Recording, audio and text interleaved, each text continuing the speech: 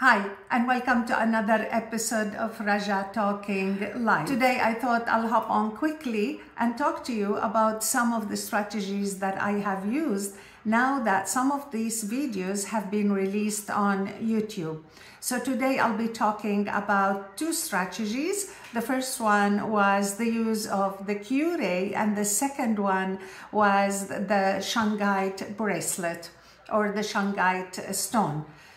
So for the Q-ray, the reason I used it is because one of my very close friends, she said that it helped her tremendously, particularly with her neck pain.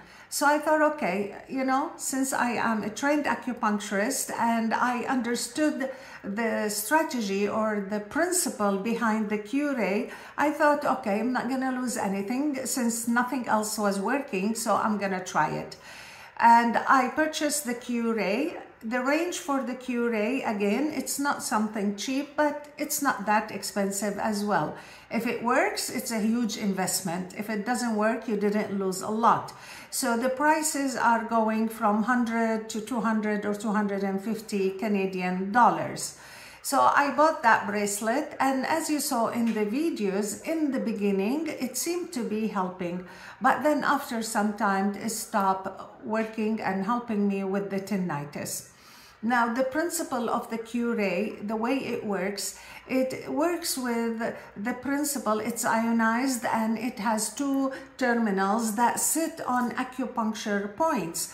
So from that perspective, it claims that it helps balances the energy, give you more energy and uh, having uh, the most claim that it had is the relieving of pain even though I did not have the pain, but I thought, okay, maybe if it balances the energy in the body, then that is gonna help uh, relieve the tinnitus. And that was not the case. But if you notice in any of the strategies that I'm releasing and I'm posting on YouTube, what happens in my case is that in the beginning, maybe for a couple of days to a couple of weeks, depending on what I'm trying, the tinnitus gets better. But then my brain gets used to the, the, the chatter that happens in it and then again, I don't get the relief from it. So if you want to try it, you can try that and hopefully if, if, it, if it doesn't help with the tinnitus or anything else, it may help you with the pain if you are dealing with pain in your joints or anywhere in the body.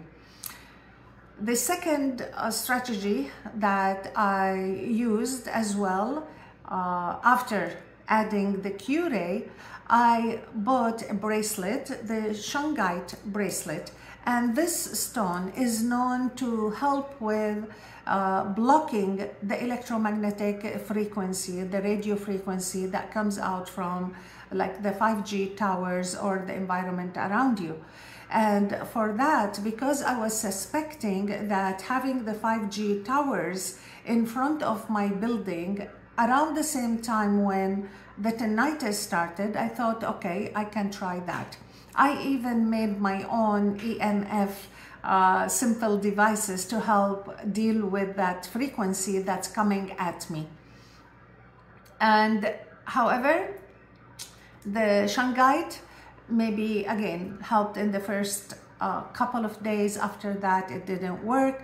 But as you can see I'm still wearing it. Uh, I love it and it has other properties. The this stone has other properties such as protection and grounding. So if nothing else I can get that protection as well. So the shungite I keep wearing it. The Q-ray believe it or not that metal ball that's at the end of it, it just broke. It was a clean cut. I woke up one day and the ball was gone. If I still have the bracelet, I'm gonna post some pictures for you so you can see what I'm talking about.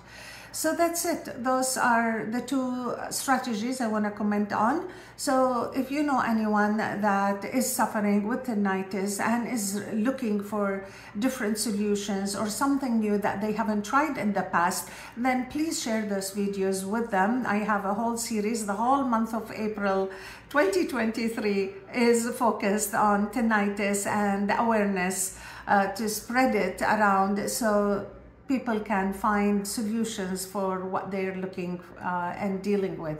So thank you so much.